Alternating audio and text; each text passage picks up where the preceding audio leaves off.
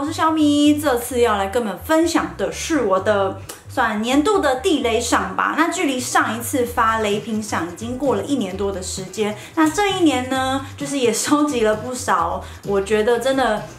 用过之后完全不会想要再。回购或者是用了之后我真的很不推荐的产品们，那其实对我来说雷品的定义，我上一支雷品片就有分享过，就是我不会随便评判一个东西为雷品，因为有时候可能这个东西是，嗯，怎么讲，这个东西可能适合我的肤质，不适合别人的肤质，或者是就是雷蜜糖毒药理论。不过我今天分享的雷品是我觉得普遍大家。都用了，可能不一定会喜欢，或者是说我就是给他很多次机会，但是我真的最后还是没有办法接受他的这些产品嘛。好，那我们就开始吧。首先，第一个要分享的是 Pony 的女王琉璃染唇液，那这算是还蛮新的产品。我先来说说它的优点好了。优点第一个就是它的外形包装其实是还蛮美的，就是这种雾面的方形瓶身，然后再来它擦起来的饱和度还 OK，然后持久度也很好，价格也不贵。不过它非常致命的缺点呢，就是。它擦起来很不均匀，尤其是你唇部条件不够好的话，会更可怕。那我自己给它过很多次机会，即使我擦了护唇膏，它还是没有办法擦得很均匀漂亮，所以我就是没有办法接受这款唇膏。再来就是它的颜色，它总共有出五个颜色，它其实大部分都是这种。比较荧光感，就是那种亮桃红啊、亮珊瑚色、亮红色，就是我觉得如果你是健康肤色的话，不要轻易尝试。这系列最美的颜色应该就是这个五号，五号色是比较漂亮的那种枣红色的感觉。那再来就是它非常非常的难卸，它难卸到一般的眼唇卸妆是卸不干净的，它可能要用专门的卸唇产品才可以把它彻底的卸除。等于说它的缺点呢，已经远远盖过于刚刚那些优点，所以这款就是我的毒药，我的雷品。那你会说，哎，为什么雷品我还买这么多支呢？其实这是我之前有收到这个合作，但是我用了之后我真的不喜欢，所以我就把这个合作退掉了。在第二样分享的也是 Pony 的这个女王马卡龙指甲油。这个指甲油呢，就是我自己去逛呃药妆开价药妆店的时候买的。那那时候是觉得它好像在特价吧，反正就买一个回来试看看。结果一试的时候就觉得，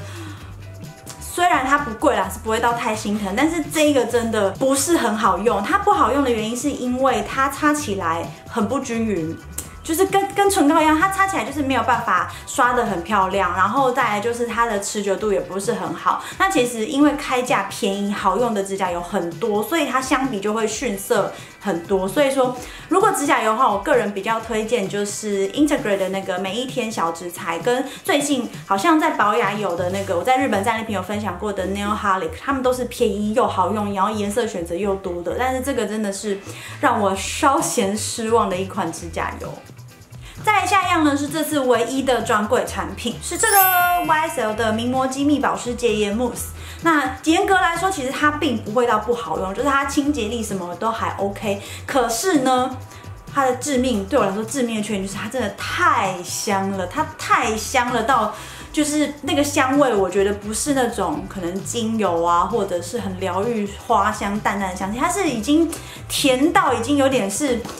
你会怀疑它是不是香精味的那种甜度？那我觉得它用在洗面乳，就是洁颜产品里面，这个香味对我来说，我不我不是很喜欢。因为你睡前你就是希望是放松什么的，然后它味道就是太强烈了。呃，如果你们想要入手他们家这款洗颜产品，我觉得可以三三思一下。再来就是它的价格其实不便宜，这一瓶记得要到一千五吧？一千五其实这个价格是可以。就是多花点钱，甚至去买专柜的保养，就是精华或是霜类产品。可是我不会想要去拿来买一个就是这种洁颜品。所以说你会发现，我平常分享的就是不管是主要是洗脸清洁的，或是卸妆产品，我大部分其实都会以开价为主，因为我觉得这种消耗品比较高的东西，开价很多就很好用了，所以。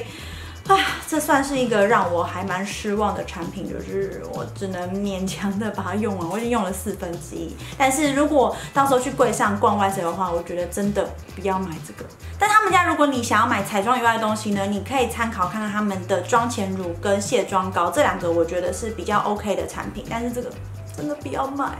接着下一样呢是 Etude House 的二十色眼影盘，这盘刚推出的时候其实讨论度也蛮高的，它就是出了一盘冷色调跟一盘暖色调。那因为我本比较偏爱暖色眼影嘛，所以我就买了这个暖色盒。那我是在 Dream Market 上买的，那时候价格我记得大概是台币九百多，但台湾要卖到快两千块。那我后面会跟你们讲。为什么它是我的雷品？打开来呢，它是有镜子跟这样子二十色的眼影。那你乍看会觉得说，哎，这二十色感觉还不错啊，很实用。然后有雾面的啊，珠光也有亮片的。可是呢，我在试用的过程当中，就是它的亮粉。因为我本来对 Etude House 他们家单色眼影期望，不是期望，就是我用的还蛮喜欢的，所以对这盘眼影的期望当然就会蛮高，就是会觉得说，哦，应该跟他们家单色眼影不会差到，品质不会差太多。就一用之后呢，它这盒的这种亮粉真的很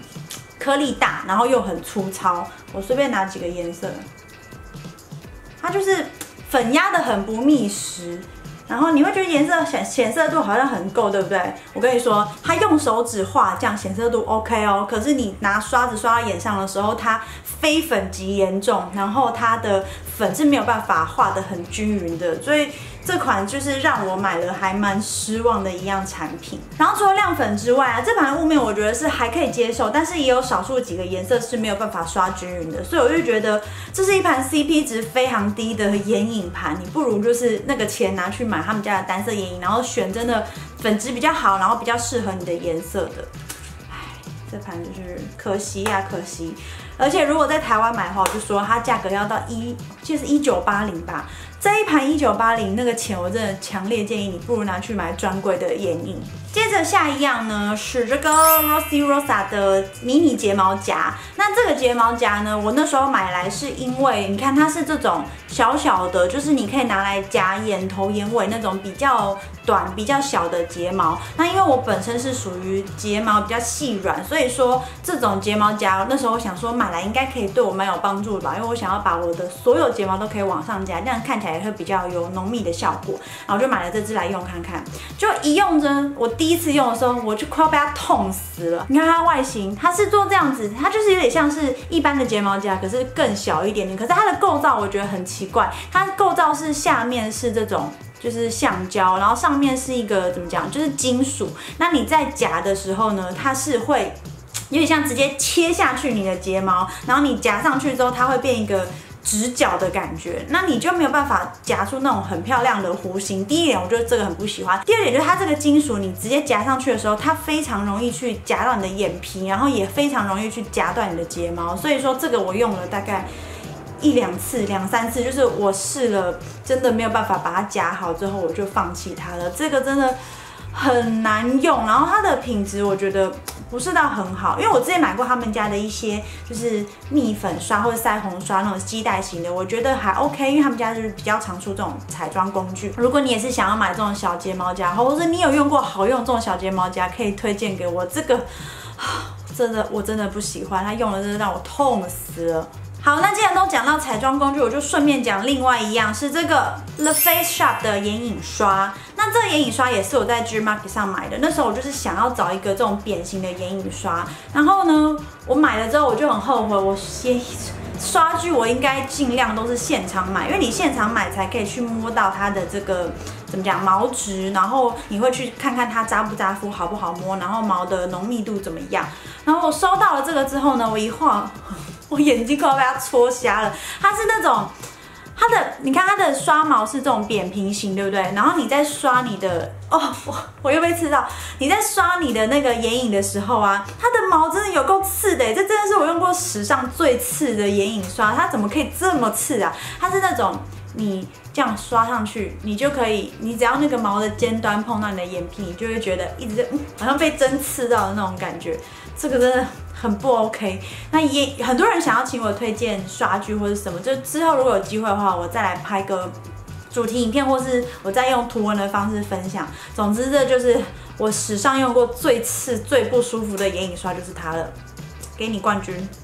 接下来下一样呢是 Innisfree 的完美三重呵护防晒霜，那这个我也是在 G Market 上买的。G Market 就是你知道，你会看到有时候价格不贵，就会。就是不小心失心疯买了一些，就是你没有特别做功课的东西。那它挤出来呢，是那种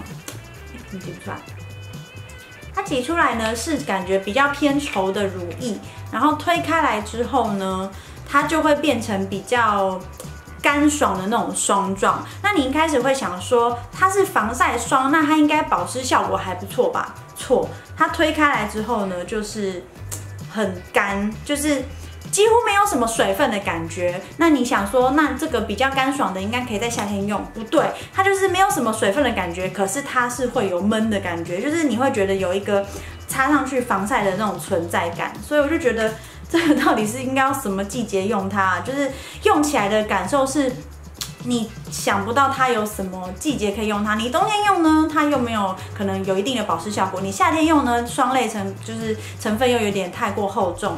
所以它就是一个非常迷样的防晒产品，然后再来另外一个迷样的点就是它是三重呵护嘛，啊，三重呵护其实就是它有防晒效果之外，它还有美白跟抗皱。但是一个防晒乳，我到底要求它要美白或抗皱效果干什么呢？这个就是拿来保养用就好了。所以它，我给它的结论，它就是一个迷样的防晒产品，因为防晒好用的真的太多了，所以。这个真的是非常的不 OK，就是听说他们家的向日葵系列应该比较好用，或者是如果你们有过什么其他的好用的话，也可以跟我分享。接着下来是 Maybelline 的终极摩天龙防水睫毛膏，那这一款呢，就是其实它在网络上的评价不会到太差，可是这个呢，算是我自己用过 Maybelline 他们家的睫毛膏，就是他们出非常多款嘛，我比较没有那么喜欢的一款。那先说它的主打特色好了，它的主打特色就是。终极浓密卷翘，然后根根分明，然后防水防晕。那我自己用完呢，我觉得它刷起来，先给你们看一下它的刷头，很特别。它是这种怎么讲螺旋形，可是它只有上下左这样两边有刷子，它不是整个全部有这样刷头的。它你刷起来的时候，你会觉得它的确有浓密的效果，就是你的睫毛会变得比较厚实，可是它几乎没有纤长的效果。所以说，如果你本身睫毛长度没有很长的话，用它就是一样还是会短短的，只是会变比较浓一点。然后再来就是它刷起来对我来说是会结块的，所以我不是很喜欢那种会结块的感觉，因为它结块感觉你就会觉得眼睫毛上感觉好像脏脏的，然后有一粒一粒的那种感觉。所以这款是我用了比较失望的一个睫毛膏。那 Maybelline 他们家我目前最喜欢的应该是这一款。最新的，我突然忘了它的名字。最新的出了这一支，我在前阵子的影片好像也有分享过。这个是我近期几乎每一天化妆都在用这款睫毛膏，这一支已经快要被我用完了。它的刷头是这种梳子型的。那我后来发现，如果你想要根根分明的话，其实梳子型是比较能让你的睫毛不会打结的，然后它刷起来是会比较怎么讲？就是会这样直直的往前翘。那如果你的睫毛本身是比较浓，或者是比较容易打结的话，我觉得都可以尝试看这种梳子型。然后它的一个优点就是，因为很多梳子型是会睫毛膏会太湿，但是它的这个睫毛膏不会到太湿，所以说它你夹完睫毛，它这样刷上去还是会有卷翘效果的。所以我目前最爱用的是它。那这个就只能跟它 say sorry 啦。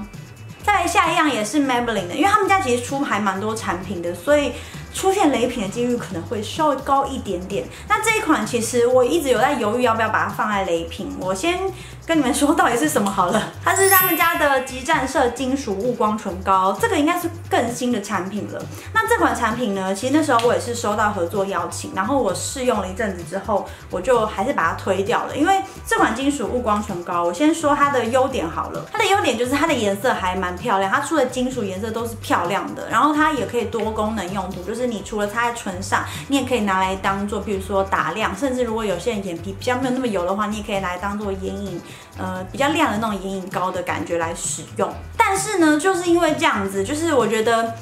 有一好没两好吧，它很多颜色其实是不太适合直接擦在唇上的。譬如说这一支 White Gold 这一个，你们看这么浅的颜色。根本就是可能先一大半的人的唇色就遮不住了，然后再来就是它这个颜色擦在嘴上啊，不是这个颜色，这系列唇膏大概有一半以上颜色擦在嘴上，它是没有办法很均匀的，然后会很干，然后很显唇纹。尤其其中有几个颜色我试起来，我会觉得它的金属光并不是那种。漂亮的感觉是有点灼灼的，就是你感觉不太到它有那种漂亮的金属光泽，可是反而会让人家觉得说，哎，为什么你嘴巴感觉是雾雾的，然后脏脏的，没有那种很美的那种金属光泽。那像我的替代用法，我可能就是譬如说这一个比较亮的，你可能可以拿来当做脸上的打亮产品。可是因为它又是雾面的，所以你打亮的那种亮度又没有办法像那种珠光的。亮打亮或者是那种打亮液那么漂亮的那种光泽，虽然对我来说就是一款我个人就是并不会到非常喜欢产品，所以就把它退掉合作了。然后再来就是，如果你们去试这款唇膏啊，它有一个很妙的一点就是，其实它刷在手上不会到不好看，就是你刷在手上的时候会觉得它颜色都还不错。可是你真的实际试在嘴上的时候，它怎么讲？它就是一款试在手上比试在唇上好看的颜色，所以很多人可能试在手上觉得很好看，买了之后回去会有点失望。那真的，如果你还是想要尝试看看的话，他们这系列应该我试过，我觉得比较 OK 的颜色是这个吧，Copper Spark，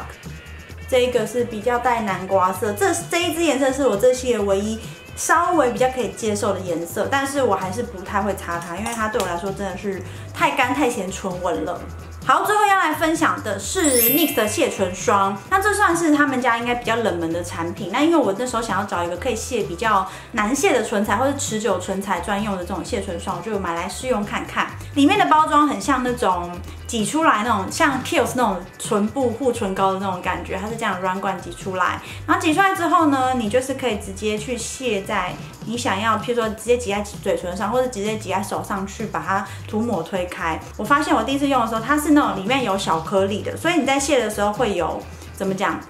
因为去角质的感觉，然后它可能是目的是希望让你的嘴唇可以变得比较呃嫩，比较滑顺一点。那我觉得这个我不喜欢它的点就是。它的卸除效果其实并不是很好，我本来对它期望还蛮高的，因为 NYX 他们家出很多那种持久的唇彩，我想说他们家出了这么多唇彩，他们卸唇的应该效果也不错吧。结果我试了它之后，我发现很多持久的唇彩其实它没有办法卸得很干净，或者是它要卸非常的多次，多次到我已经好累哦，就是想要放弃人生的那种感觉的那种累。加上它在里面加了那种去角质，有时候你卸了太多次，其实是。会让你有点皮肤，呃，不是皮肤，最皮会变得比较薄，会比较脆弱的感觉。所以这一款呢，我是没有很推荐。如果你们想要买的话，因为我觉得如果它卸除力没有到很强，那我用一般的嘴眼唇卸妆就好了，何必买到这个？那如果你想买那种专门卸持久或是难搞唇彩的话，我真的是比较推这个 Misha 的。就是我也忘了它名字，就是也是他们家的卸唇液，这个现在在屈臣氏就买得到了，然后这个也不贵，这我记得好像七十块吧，反正就是几十块就有一个，然后它就是属于它不是膏状的，它就是液状的，液状的挤出来，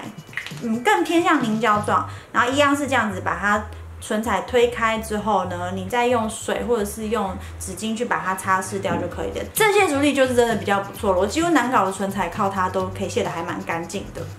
以上就是我的年度雷品赏，希望大家看完之后就是可以少踩一点雷。那当然这些东西都是我非常主观的使用心得跟想法。如果我介绍到的东西是你个人很喜欢的，那没关系，你就继续用下去吧，因为个人喜欢最重要。那其实我平常在介绍产品的时候，我都会特别去讲他们的优点啊、缺点啊。或是适合什么样的人？那其实你要避免踩雷品的方法，最好的方式就是你要先了解自己适合什么，而不是别人说什么好你就跟着买。所以不管我之后分享什么一样，就是我分享的东西，你真的评估之后觉得适合你自己再下手，才可以减少踩到雷品的几率。好啦，那就这样啦，希望你们会喜欢这支影片，别忘了帮我按个喜欢，然后记得订阅我的频道，可以点这边。那我们就下次见喽，拜拜。